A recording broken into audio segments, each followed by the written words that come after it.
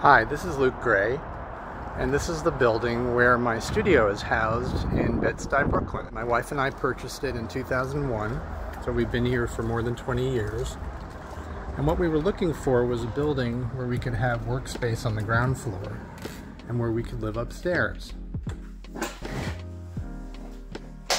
When I first came to New York back in 1982, I was very inspired by graffiti artists like Jean-Michel Basquiat. I was very interested in the immediacy of what they did and the fact that the work had to be generated and finished in a very short interval of time before they were caught by the police. So that whole idea sort of took root in my mind. I wanted to be able to produce images of complexity in a very short period of time. So this is the piece I've given the school to offer up for auction.